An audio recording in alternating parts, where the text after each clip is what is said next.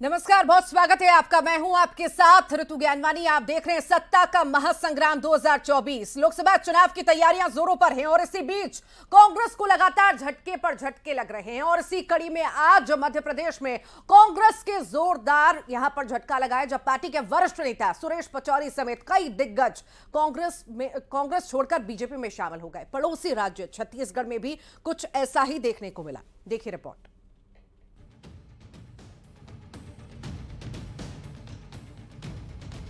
पिछले विधानसभा चुनाव में करारी हार से पस्त कांग्रेस को एमपी में लगातार झटके पर झटके लग रहे हैं। विधानसभा चुनाव के नतीजों के बाद से जहाँ कांग्रेस में भगदड़ मची है, वहीं बीजेपी बाहें फैलाकर कांग्रेस छोड़कर आने वाले नेताओं का स्वागत कर रही है। बीजेपी ने प्रदेश में कांग्रेस को एक और बड़ा झटका दिया। कांग्रेस के वरिष्ठ नेता सुरेश पचौरी, पूर्व सांसद गजेंद्र सिंह राजूखेड़ी, पूर्व विधायक संजय शुक्ला, विशाल पटेल, अर्जुन पलिया आलोक चंसोरिया, भोपाल के पूर्व जिला अध्यक्ष कैलाश मिश्रा, योगेश शर्मा, अतुल शर्मा, ब्लॉक अध्यक्ष सुभाष यादव, दिनेश डिमोले, सुभाष यादव एवं जसपाल अरोड़ा ने बीजेपी ज्वाइन की और बताया क्यों कांग्रेस छोड़कर बीजेपी में हुए। जो धार्मिक निर्णय हो रहे हैं, वो बड़े असहज करने वाले हो। आप कहेंगे एक दो का उल्लेख करिए। मैं डिफेंस प्रोडक्शन मिनिस्टर रहा हूँ।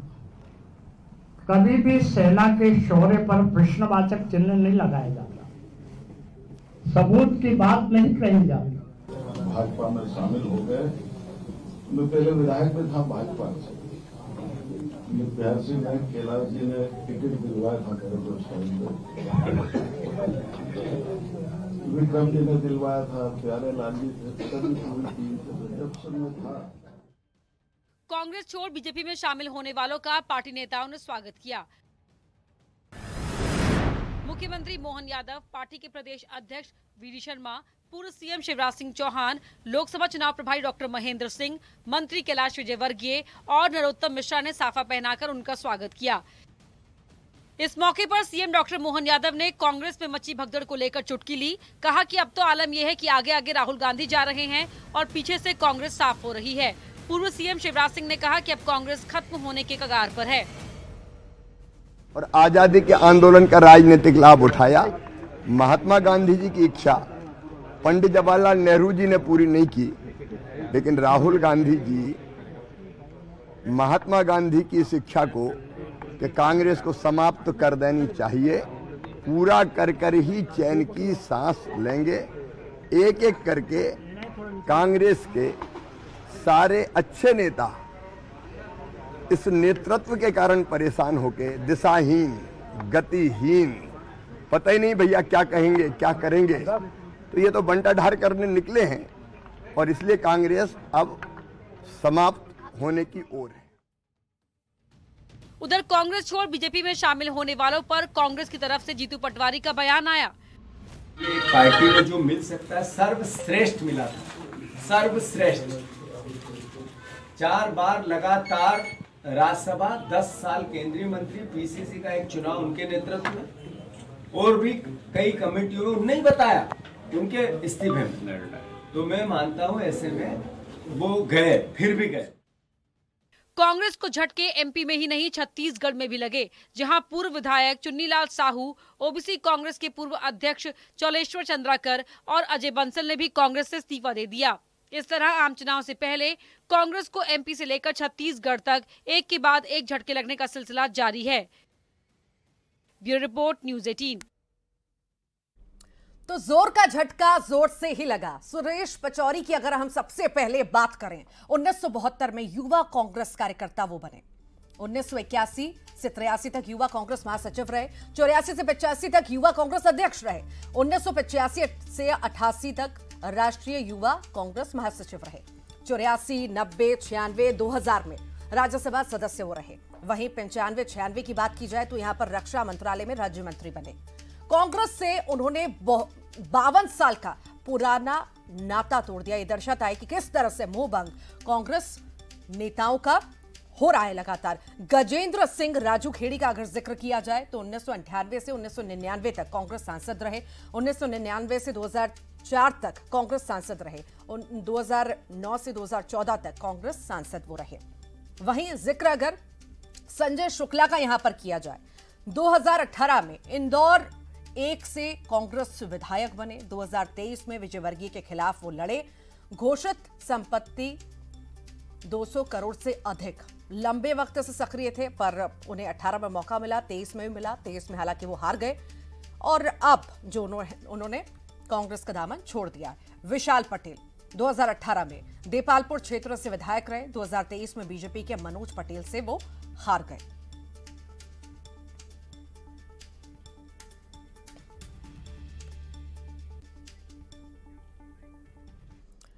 और सहयोगी प्रशांत कटारी भी हमारे साथ जुड़ गए हैं। ममता लांजीवार भी छत्तीसगढ़ से हमारे साथ जुड़ गई हैं। प्रशांत का सबसे पहले रुख कर लेते हैं। प्रशांत झटके पर झटका कांग्रेस को लग रहा है। जैसे जैसे दिन नज़दीक आ रहे हैं चुनाव के वैसे वैसे बड़े बड़े झटके।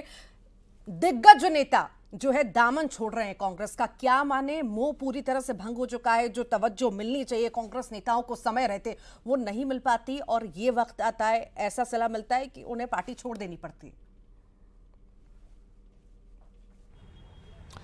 मोहभंग से ज़्यादा ऋतु इसे हम ये कहेंगे कि भाई बहुत ज़्यादा भविष्य अब कांग्रेस में नेताओं को नज़र आ नहीं रहा है। बहुत सारे बड़े बड़े नेता हैं नेता हैं और अब एक दूसरी एक और ये भी बात है कि अब युवाओं को कांग्रेस में आगे बढ़ाने की कोशिश हो रही है। दूसरा ऐसे में जो वरिष्ठ नेता है, बहुत सीनियर नेता है, बड़े तजुर्बेकार नेता है, उन्हें लग रहा है कि उन्हें दरकिनार किया जा रहा है। ये एक बड़ी वजह है। दूसरा जो युवा नेता भी है, उन्हें भी लग रहा है कि भाई अब हमारे लिए यहाँ पर कुछ बचा नहीं है। बहुत सूची बहुत लंबी है। ये तो आज के नाम आप भी गिना रही थी, इनका बैकग्राउंड भी आप बता रही थी, लेकिन सूची इतनी लंबी हो चलिए कि भाई अब बड़े नेताओं की सूची भी आप गिनाएँगे तो बहुत वक्त लग जाएगा।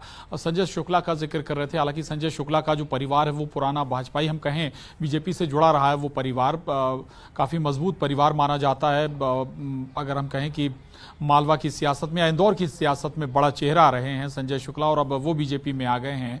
दूसरा सुरेश पचौरी का ज़िक्र कर रहे थे आप। सुरेश पचौरी का आपने ट्रैक रिकॉर्ड भी बताया। सुरेश पचौरी की सियासत राजीव गांधी, इंदिरा गांधी के समय की सियासत है। पाँच दशक का उनका साथ कांग्रेस के साथ रहा है। अब अगर इस दौर में अगर वो छोड़कर जा रहे हैं तो वाकई सवाल पैदा करता है कि आप अपने बड़े नेताओं नेताओं को भी अपने साथ जोड़कर नहीं रख पा रहे हैं, जो दशकों से आपके साथ रहे हैं। ऐसे में कांग्रेस का भविष्य आखिर किस गर्त में जा रहा है, ये अपने आप में सवाल वाकई बना हुआ है। एक तरफ़ राहुल गांधी भारत जोड़ो न्याय यात्रा कर रहे हैं लगातार लीडरशिप बदली जा रही। दूसरी तरफ़ अगर इस तरह से नेता छोड़ रहे हैं तो यानी कि आप जोड़ने की कोशिश कर रहे हैं आम जनता को न्याय दिलाने की बात करें लेकिन आपके क्या आपके नेताओं को ही पार्टी में न्याय मिल रहा है? ये अपने आप में सवाल है। अगर बड़े नेता जा रहे हैं छोड़कर तो इसके पीछे कई बड़ी वजह हो सकती हैं। तो ये भी हालाँकि जो कांग्रेस आरोप लगाती है कि अलग अलग एजेंसियों का उपयोग कर प्रेशर बनाया जाता है लेकिन इतने बड़े नेता जिनका जो लौटूँगी लौटूँगी। प्रशांत, आपके पास ममता भी लगातार हमारे साथ जुड़ी हुई हैं। ममता, आखिर वहाँ पर स्थिति, छत्तीसगढ़ में कैसी स्थिति नज़र आ रही है? वहाँ पर भी जो है, लगातार कांग्रेस, बीजेपी का दामन थाम रहे हैं। भविष्य की चिंता तो उन्हें सताई रही है। साथ ही साथ, अब कहीं ना कहीं मोह भंग की तस्वीर भी हम देख रहे हैं।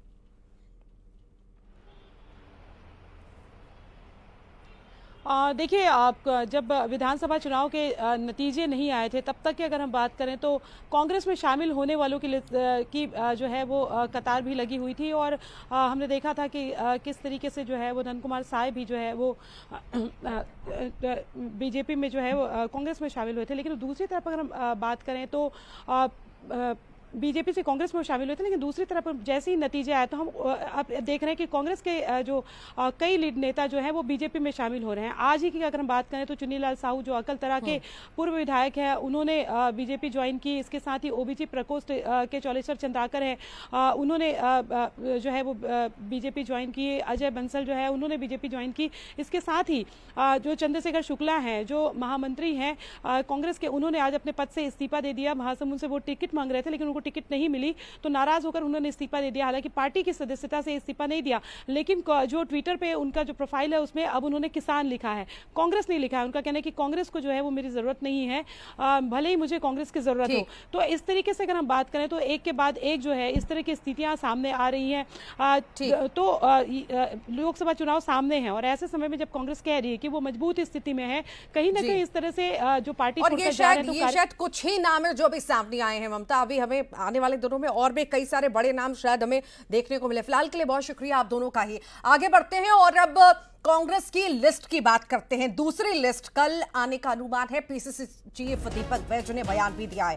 कल बाकी बचे पाँच प्रत्याशियों की सूची आ जाएगी। बाकी बचे पाँच नामों पर सहमति बन चुकी है। कल सीएसी की बैठक के बाद नाम सामने आएँगे। मेरे चुनाव लड़ने पर हाईकमान फैसला करेगा, ये भी दीपक बैज ने कहा है। क्या कुछ उन्होंने कहा है? आइए सुनते हैं। पीसीसी अध्यक्ष दीपक बैज हमारे साथ मौजूद हैं उनसे बात करते हैं। सर पहली सूची जारी हो गई है और पाँच नाम अभी और बचे हैं। कब तक वो नाम आ जाएँगे? संभवतः कल दूसरी सीईसी का मीटिंग है और जो हमारे पाँच नाम बाकी हैं पाँच लोकसभा में वो संभवतः कल के सीईसी में फाइनल हो जाएगा।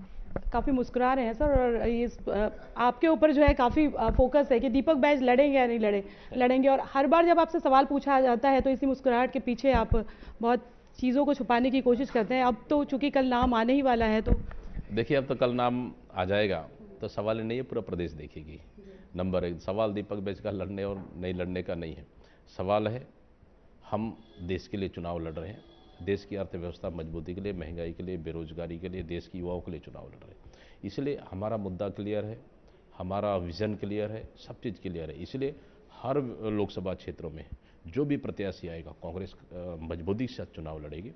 और यह है कि कल हम चाह रहे हैं कि जितना जल्द हो सके उतना जल्द सूची आ जाए।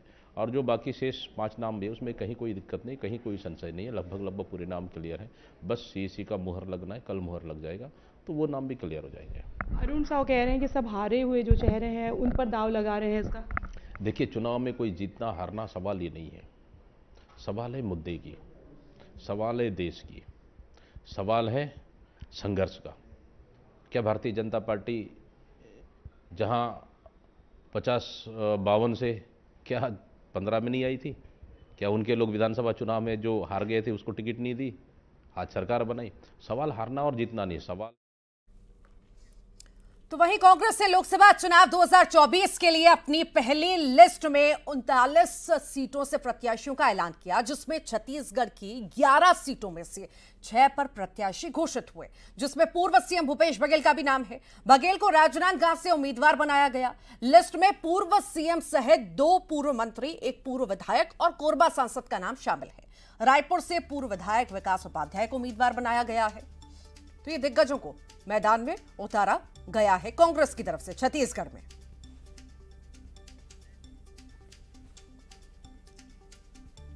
तो राजनांदगांव से अब जो है, चुनाव लड़ने की तैयारी में भूपेश बघेल हैं। हालाँकि वो केंद्र में अभी नहीं जाना चाहते थे, पर कहीं ना कहीं अब आला कमान ने फैसला लिया है तो अब ये चुनाव वो लड़ेंगे और राजनांदगांव से उनके नाम को चुना गया है। राजनांदगांव से वो मैदान में होंगे।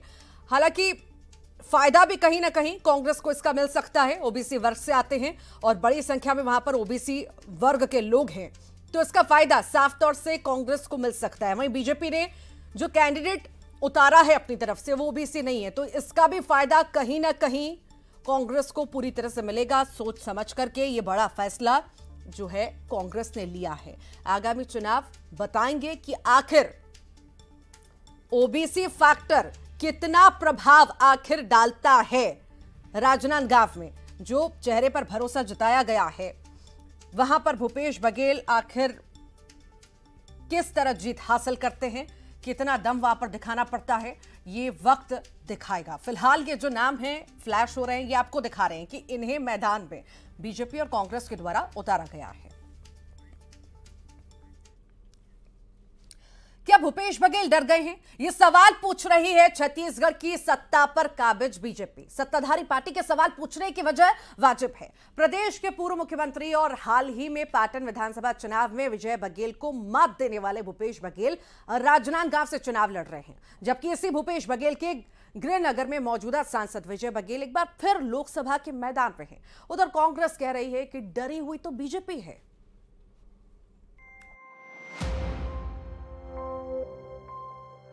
लोकसभा चुनाव की तारीख की भले ही घोषणा नहीं हुई है, लेकिन छत्तीसगढ़ में सत्ता का महासंग्राम शुरू हो चुका है। बीजेपी कांग्रेस के बीच जुबानी जंग, चुनावी लड़ाई के चरम पर पहुँचने का संकेत देने लगी है। बीजेपी ने अपनी पहली सूची में लोकसभा चुनाव के लिए छत्तीसगढ़ के अपने सभी प्रत्याशियों की घोषणा कर दी, जिसके बाद जवाब में कांग्रेस ने अपनी पहली सूची में छत्तीसगढ़ में छह प्रत्याशियों की घोषणा की, जिसके बाद से बीजेपी और आक्रामक हो गई। पूर्व सीएम भूपेश बघेल के गृहनगर दुर्ग को छोड़ राजनांदगांव प्रत्याशी बनाए जाने पर बीजेपी ने चुटकी ली। डिप्टी सीएम विजय शर्मा ने कहा कि बघेल डर गए हैं। राजनांदगांव से चुनाव लड़ने वाले हैं क्या कहना चाहेंगे दुर्ग से क्यों नहीं लड़ रहे दुर्ग से क्यों नहीं लड़ रहे डर गए? क्या हुआ है? राजनांदगांव वाले क्यों स्वीकार करेंगे? इस बार कितनी सीट? अभी मुश्किल ये है कि सिर्फ़ 11 सीटें अब जब बीजेपी ने कांग्रेस को डरा हुआ बताया तो कांग्रेस ने भी जवाब में बीजेपी को सहमा हुआ करार दिया। प्रदेश अध्यक्ष दीपक बैज ने कहा कि अभी तो हमारे छह प्रत्याशियों की घोषणा हुई और पहली सूची देखकर ही बीजेपी डर गई। पार्टी के भीतर सत्ता विरोधी लहर का डर सता रहा है। भले ही विधानसभा चुनाव हार गए, लेकिन लोकसभा में जीत का परचम लहराएँगे। दुर्ग में हमारा मज़बूत प्रत्याशी है। रायपुर में हमारा मज़बूत प्रत्याशी है। राजनांदगांव भी मज़बूत प्रत्याशी है। मतलब भारतीय जनता पार्टी का नेताओं का बयान अगर देखेंगे आप, उनका मायने निकालेंगे मतलब सीधा सीधा अर्थ है कि हमारा जो छः कैंडिडेट हमारी पार्टी ने डिक्लेयर किया है, उनके देखते हुए भारतीय जनता पार्टी पूरी तरह से डरी हुई है। जैसे जैसे लोकसभा चुनाव की तारीख नज़दीक आ रही है, दोनों प्रमुख पार्टियों के बीच जुबानी जंग तेज होती जा रही है। अभी तो चुनाव की तारीखों का ऐलान होना बाकी है। ऐसे में जब तारीख की घोषणा हो जाएगी, तब सत्ता के सर्वोच्च शिखर पर कब्जे के लिए शुरू हुई इस दौड़ में अभी और संघर्ष देखने को मिलेगा। तो कुर्सी की पेटी बाँध लीजिए और मज़ा लीजिए इस सियासी सफ़र की नोक झोंक का। ब्यूरो रिपोर्ट, न्यूज़ 18 और इसी के साथ ही सत्ता के महासंग्राम में फ़िलहाल के लिए इतना ही। नमस्कार।